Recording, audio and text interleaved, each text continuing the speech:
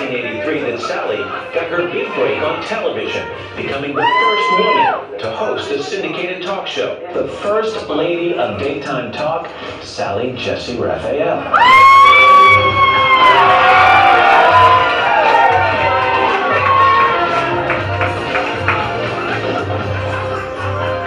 In 2002, Sally said goodbye to daytime. And we're happy to have Sally with us this morning. Actually, daytime said goodbye to me. Is that the way it happened? Yeah. I was betrayed by some of the producers. The boss said, red, lose the red glasses. I did like working, and I do like working, and I miss work. I miss work.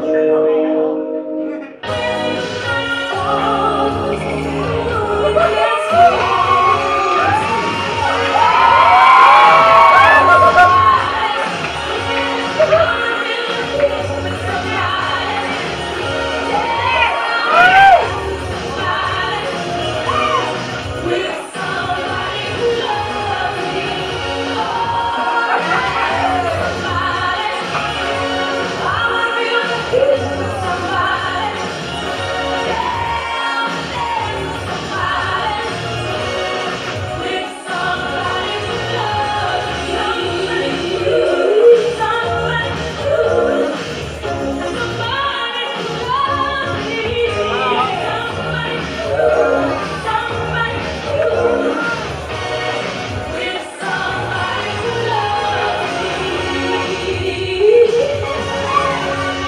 I watched it for so many years, Sally. I'll tell you a secret It's kind of strange.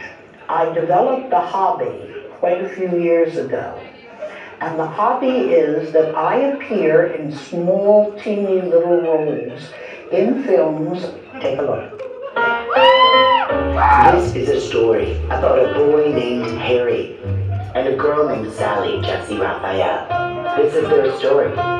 When Harry met Sally Jessy Raphael. Why are you getting so upset? This is not about you. I learned, my own personal observation is that there aren't a lot of real men around. Most of the male uh, idols are kind of like little boys. Hey, I don't feel great about this, but I don't hear anyone complain. There are a lot of women I think they have an okay time. You know this to be true? How do you know it? I mean, how do I know I know?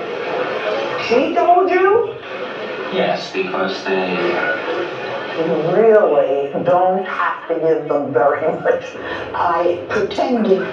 What are you saying? That they fake orgasm? Oh, easily. Yeah. Oh, I know I could. Get out of here. Well, they have affected with me. I pretended. There are a lot of women You don't think that I can tell the difference? Who think it's easy to tell the difference. Mm, I'm not so sure. That's Sally. Get out of. Oh, gee. Oh, okay. Okay? Oh, okay. Uh, okay.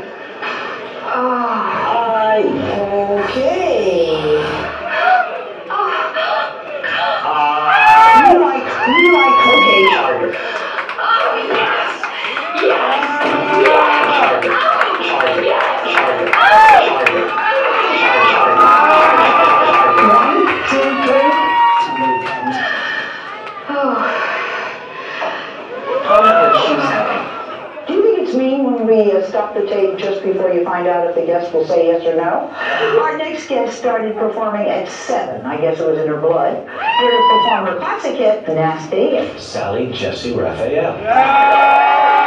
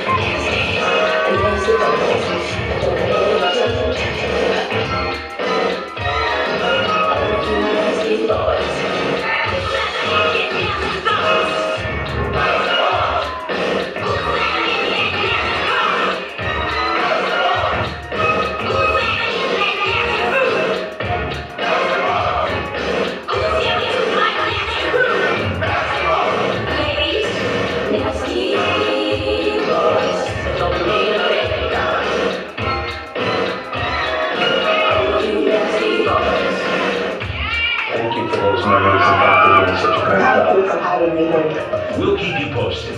Na, na, na, na, na, na, na.